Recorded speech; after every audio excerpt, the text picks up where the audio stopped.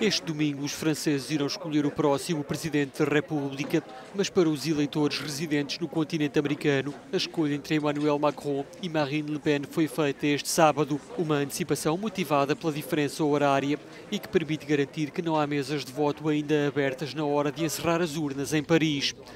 Em Montreal e Nova York, vários franceses expatriados esperaram horas para depositar o seu voto, um cenário que já se tinha verificado na primeira volta das eleições há duas semanas.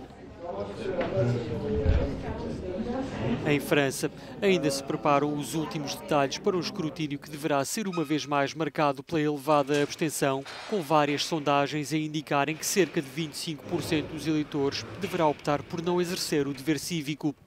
A escolha entre Macron e Le Pen não agrada a todos, mas agrada à maioria, como se impõe numa democracia. Um deles será o próximo presidente francês.